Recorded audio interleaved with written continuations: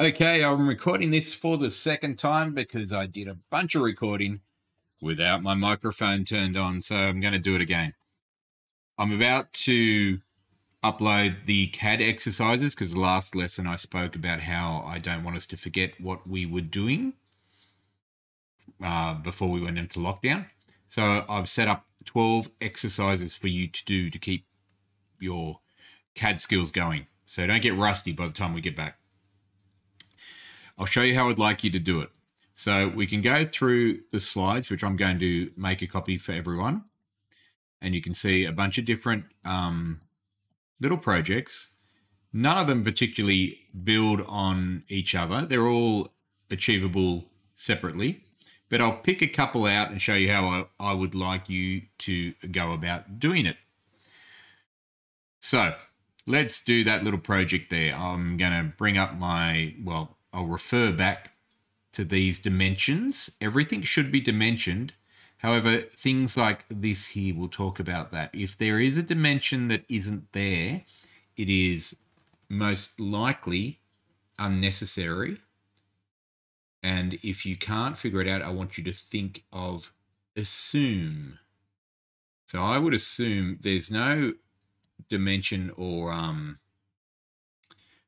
di diameter for this circle here. But my assumption would be that these holes are in the center. Okay, we'll get to that. Open up Onshape, log in, make sure you're in metric, millimeters. Before you go anywhere, make a, a document called CAD exercises and start making um, new uh, parts. Okay, so click on the plus and make a new part, Part Studio, give it a name.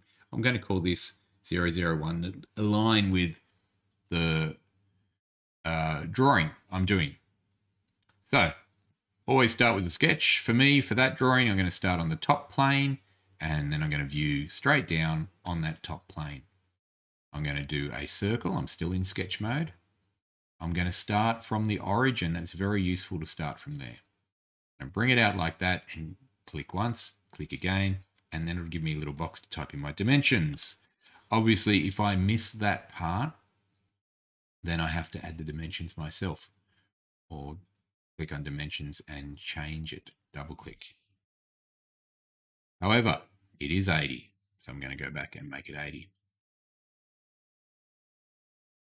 Now, there are three holes, one, two, three. They're all 90 degrees to each other. So I'm going to use another circle, but I'm going to make it a construction line and work out where they intersect with these lines here. Start from the middle, bring it up, click there. Now, if you go back to the drawing, it tells us it's 28 mil from the center. That gives us a radius to that circle. Um, it's asking me for the di diameter. So I'm going to type in the radius 28, but I'm going to times it by 2, which will give me a diameter, which 56. Well, you probably worked that out anyway. You're pretty smart. Then it tells me there are three holes. Turn off construction lines, stay to circle, zoom in, and it's going to be on that intersection where this circle and that line hit.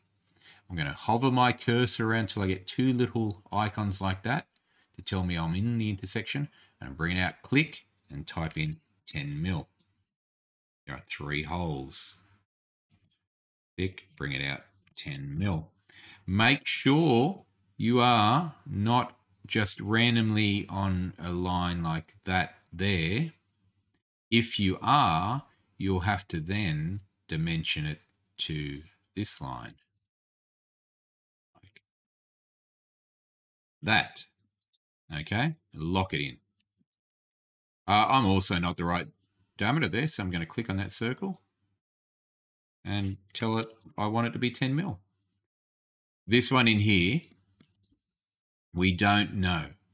Okay, it hasn't given us to us. So the person that made the drawing is going to make an assumption that we are going to understand what he meant.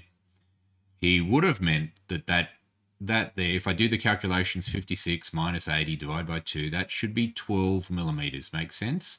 So then in here, that circle should be another 12 millimeters, making these centered. So let's do 56 minus 2 times 12, 24. That should be 32. Click on there, bring it up, type in 32. I could double check if I want. I could put dimensions in. I don't want to over constrain it. Now, there are two lines that come off this circle, and they come off from that intersection right there, which I could, I'll do, I'll do two ways.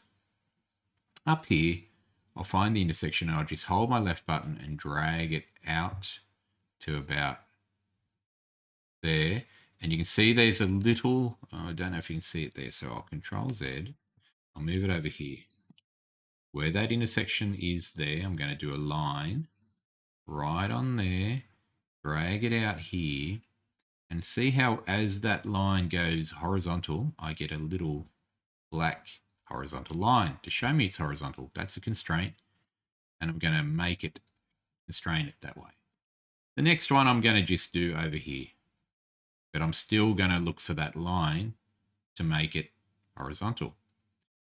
This time, I'm going to constrain those lines together. So I'm going to use a tangent. Tangent, that line to that line. That means I'll just touch. And then I'm going to use the scissors, the trim, and trim away what I do not want.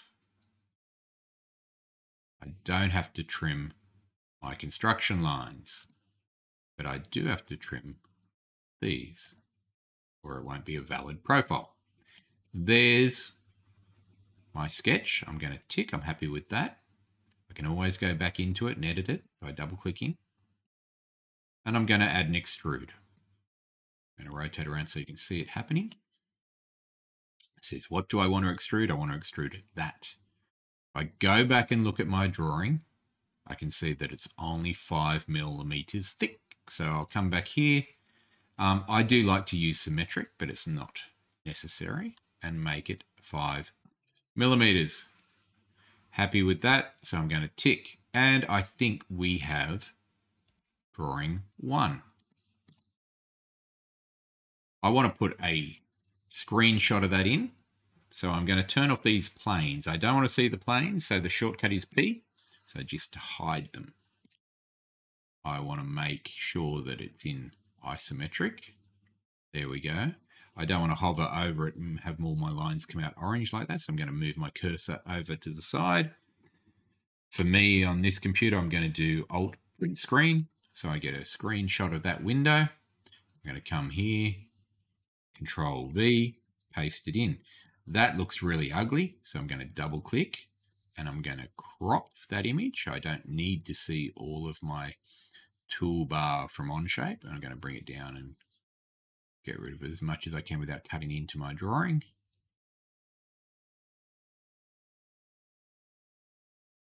And click over here. And now I'm just going to fit that in to the side. Exercise one, done. Now I'm going to do a couple of little random ones around here just to get you going. Uh, exercise three looks pretty good. So I'll come back to Onshape. I'll click on the plus, make a new part, and rename it 003. And let's go back and have a look. Okay, looks pretty simple, like a little piece of angle with a hole in it. Um, the hole is centered by the looks of it, goes right on the edge. I've got a 20 mil lip there. I'm going to start with that rectangle, which is 100 mil by 45. Come back here. This time I will sketch on the front. Right click, view normal to sketch plane. And I'll make a center point rectangle. Start on the origin, bring it out here, and then type in what I want. That to be 100 and that to be 45. I can use the dimension tool to change it later or to add it if I haven't. There was a shelf along here. So I'll go back. I'm going to pick a line, not a shelf, but a little angle. I'm going to come from this edge with a line, hold my left button down, drag it to this edge. and see how when I make sure it's horizontal, I'll get some perpendicular marks and a little connect mark. While I'm there, I'm going to dimension that. So dimension, D is a shortcut. And I know it was 20 mil up. I'll go have a look here. So I've drawn that line there, 20 mil up. There was a circle, which was 25 radius, so 50 mil diameter, and it came from that midpoint right on that edge, and that was 50 mil diameter. I'm going to do something else. There's a little lip there. I'm going to not draw a circle. I'm going to do an offset.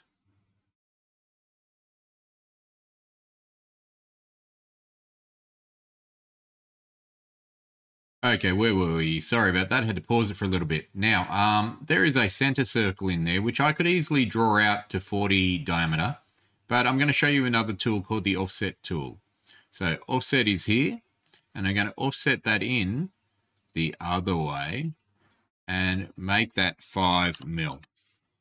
So I clicked on what I wanted to offset, brought it, made sure it went the right way, and then gave it the right amount that it is offset, which is 5 mil. So if I was to change that um, dimension, this one here, if I was to change that to 55, it would remain 5 mil away. Very useful for you. So that was 50. Now let's trim what I don't want. So click on the little trim button. And uh, let's see, I don't want that line, don't want that line, don't want that, don't want that one. No, don't want you, and don't want you. That's the shape I want. Sketch is done. I'm going to tick, and let's start doing some extrudes. I'm going to extrude this one, and if you look here, that comes out 60 millimeters. So I'm going to go back there and type in 60. Tick. Now it looks like my sketch has disappeared, but it is just hidden. So I'm going to go over to the sketch, re-click that eye so I can see what I want. And if I look here, that part there comes out at a nice 20 mil and come back and I'm going to extrude that part of the sketch at 20 mil. Tick, and I'm pretty much completely done. So I'm going to go to isometric view, hide my work planes, zoom in, take a screenshot, come back to my slide, paste it in, double click, crop what I don't want,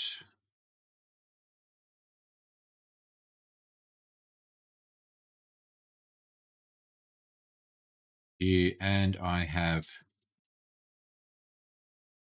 number three done.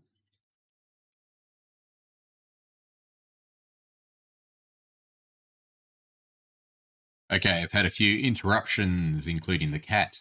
I'm going to find another one with something circular.